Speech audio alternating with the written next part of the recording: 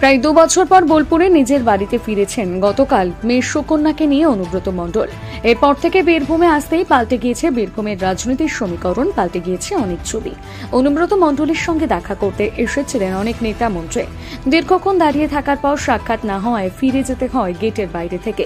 সেই নিয়ে জল্পনা শুরু হয়, তবে গতকাল বিকাশ রায় চৌধুরী জানিয়েছিলেন, বীরভূমের অভিভাবককে ফিরে পেলাম। কথা বলে ফিরে যেতে হলো বিকাশ রায় চৌধুরী সহ অন্যান্য মন্ত্রী, চেয়ারম্যান, কাউন্সিলরকে। দেখা করতে দেওয়া হলো না অনুব্রত মণ্ডলের সাথে। তবে আজকে বিকেলে অনুব্রত মণ্ডল তার বাড়ি থেকে বেরিয়ে দলীয় কার্যালয়ে আসেন। সেখানে সাংবাদিকদের মুখোমুখি হয়ে তিনি জানান যে তার শরীর ভালো নেই। পঁচিশ মাস পর বাড়ি এসেছি, পায়ে ব্যথা আছে বলে তিনি পার্টি অফিসের উদ্দেশ্যে বেরিয়ে যান এবং কর্মীদের সাথে মিটিং করবেন বলে জানা যায়। ওই মিটিংয়ে উপস্থিত ছিলেন মন্ত্রী চন্দ্রনাথ সিনহা, বোলপুরের সাংসদ অসিত মাল, লাভপুরের বিধায়ক অভিজিৎ সিনহা শিউরি বিধানসভার বিধায়ক বিকাশ রায় চৌধুরী বোলপুর পৌরসভার চেয়ারম্যান সহ বিভিন্ন তৃণমূল কর্মীর সমর্থকেরা।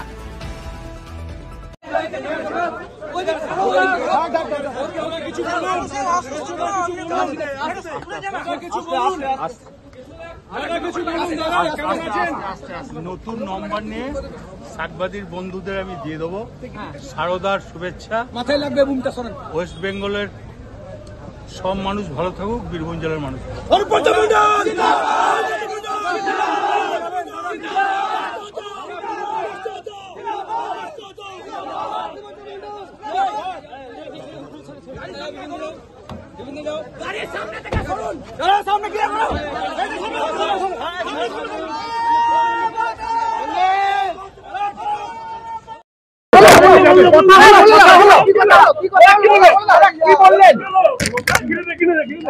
হাসছিস কেন?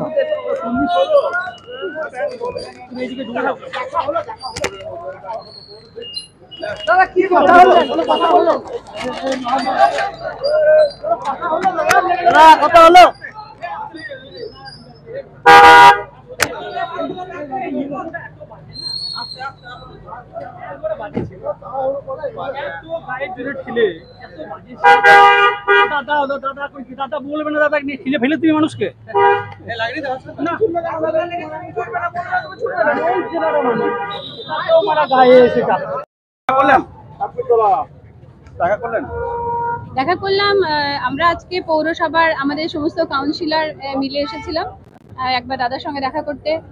আর সবার তো মনের মধ্যে একটা ইচ্ছা ছিল যে দাদাকে একবার দেখি।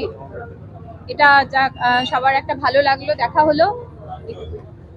কি বললেন উনি যেটা সবসময়ই বলে আসে যে মানুষের পাশে থাকো মানুষের হয়ে কাজ করো। এটা দাদা সবসময়ই বলে। আর সব থেকে বড় কথা হচ্ছে যে দাদার আশীর্বাদ। দাদার আশীর্বাদ মাথায় আছে সব কাজ স্বতঃস্ফূর্ত ভাবেই হবে কেমন? দাদা মনের দিক থেকে প্রচুর সুস্থ। শারীরিক দিক থেকে একটু অসুবিধা আছে পায়ে একটু যন্ত্রণা আছে তাছাড়া দাদা মোটামুটি। মনের দিক থেকে তো চরম জোর দাদার। আগের বছর কি ফিরবে? আগের কি কাজ করবে? অবশ্যই কেন করবে না? দিদি বছর আগের কেষ্টমন্ডল মানে কেষ্টদা আমাদের আর এখনকার কেষ্টদা। কোনো কি পরিবর্তন হয়েছে? কিছু বুঝলেন? একদমই না। আমি আজ পঁচিশ বছর বোলপুরে এসেছি যেরকম আগেও দেখেছি আজ দু বছর কেন? আমার মনে হয় যে কয়েক বছর পরে দেখলেও তিনি সেই একই জায়গায় আছেন এবং আমাদের মনের মধ্যে যে জায়গা ছিল সেই একইভাবেই রয়ে গেছেন যে কারণে আমাদের চোখে সব সময় এক। মনে হচ্ছে আগামী দিনে দলের সংগঠন আরও এই এই আসাতে কতখানি মজবুত হলো আর? আমি শুধু এটুকুই বলতে পারব যে আমাদের একটা বিরাট বড় শক্তি আশীর্বাদ সবটা আমরা পেয়েছি আমরা মানুষের সঙ্গে আরও ভালোভাবে কাজ করতে পারব এটুকু বলতে পারি। দু বছর পর গতকাল অনুব্রত মণ্ডল জেলায় ফিরেছেন। কি অনুভূতি আপনাদের? অনুভূতি বলতে জেলার তো সর্বত্র খুশির হাওয়া সবাই অপেক্ষা করছিল যে মানুষটার জন্য, সে মানুষকে গতকাল বীরভূম এবং বর্ধমানের কিছু অংশ মানুষ তাকে কাছে পেয়েছে এই কাছে পাওয়ার আবেগটা মানুষ ধরে রাখতে পারে না।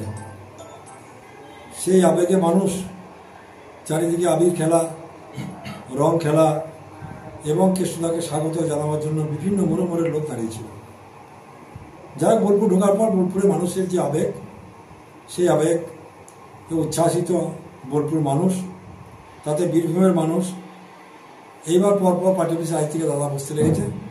মানুষ কথা বলবে এবং বীরভূমে যে অভিভাবকহীন সংসার ছিল, তার একটা অবসান ঘটবে আজকে মানুষ, বীরভূমের মানুষ, একজনকে পেয়ে খুব খুশির হাওয়া চারিদিকে বইছে।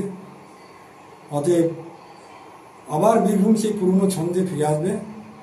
বীরভূমের উন্নয়ন সেই পুরনো ছন্দই আবার থেকে যাবে। দাদা এতদিন আপনাদেরকে দেখা যায়নি কোথায় ছিলেন? আমরা আমাদের এলাকায় ছিলাম বিভিন্ন জায়গায় আমাদের তো শুধু রাজনীতি করলে হবে না আমাদের রুজি রোজগারের ব্যাপার আছে চাষবাসের ব্যাপার আছে সেগুলোর সঙ্গে আমরা যুক্ত ছিলাম। কোথাও কি আপনাদেরকে কোণঠাসা করে রাখা হয়েছে? না না সেরকম দলের কোনো কণ্ঠাসা করার কি আছে? আমরা প্রথম থেকে দলের জন্ম থেকে দল করছি। অতএব ওই জায়গাটাকে ঠিক বলছে না। যেমন আজকে আমরা এবিপি আনন্দের একটা প্রতিবেদনে দেখছিলাম যে ভাষাপাড়া পার্টি অফিস নাকি পুনর্দখল হয়েছে। পার্টি অফিসটা কার? পার্টি অফিস তো কারও বাপুতি সম্পত্তি নয়। পার্টি অফিসটা দলীয় একটা অফিস, দলীয়, তৃণমূল কার্যালয়। যারা দল করবে তারা অবশ্যই পার্টি অফিসে বসবে আর তারা দল করবে না। সাধারণ কর্মী যারা আছে, সবাই তো পার্টি অফিসে যায় না। যারা সক্রিয় দল করে ম্যাক্সিমাম ছেলেই পার্টি অফিসে যায়। অতএব পুনর্দখলের কোনো জায়গাই নাই এখানে। আর সেই পার্টি অফিসেই এইমাত্র দেখা গেল কাজল শেখকে আসছে। আসতে পারে কাজল শেখ তো তৃণমূল কংগ্রেস দল করে সে তো আর বিজেপি করে না। আসতেই পারে। ও তো আবারই তো দল। যারা তৃণমূল কংগ্রেসের নেতৃত্ব দেয় বা তৃণমূল কংগ্রেসের যারা কর্মী আছে অবশ্যই পার্টি অফিসে যাবে। দাদা আজ কোর কমিটির সকল সদস্যদেরকে অনুব্রত মণ্ডলের কাছে দেখা গেল এবং তাদেরকে কথা বলতেও দেখা গেল। সেখানে আপনাকে দেখা গেল না। আমি কিন্তু কোর কমিটির মেম্বার নই। আমি দাদাকে ব্যক্তিগতভাবে ভালোবাসি। এবং দাদার সঙ্গে আমাদের একটা ফ্যামিলি রিলেশন আছে। অতএব দাদার সঙ্গে আমার রাজনৈতিক কোনো পরিচয় নাই কিন্তু। তা আপনি কি তাহলে দেখা করতে যাবেন? অনুব্রত অবশ্যই। এই দু বছর তো দাদার সঙ্গে আমিই তো যোগাযোগ রেখেছি। তাহলে নতুন করে দাদার সঙ্গে দেখা করার তো কোনো জায়গা আছে বলে আমার মনে হচ্ছে না। অনেককেই তো দেখা যাচ্ছে দেখা করতে যাক না তারা তো তার যোগাযোগ ছিল না তারা যেতে পারে না আমি সেখানে দেখা করেছি। অতএব ভিড়ভাড়টা কমলে অবশ্যই দেখা করুন আর আমার দেখা করা তো অসুবিধা কিছু নাই। আমি তো একনিষ্ঠ লোক তার। সেটা বীরভূমবাসী জানে। অতএব নতুন করে আর ওই চিন্তা ভাবনা নেই।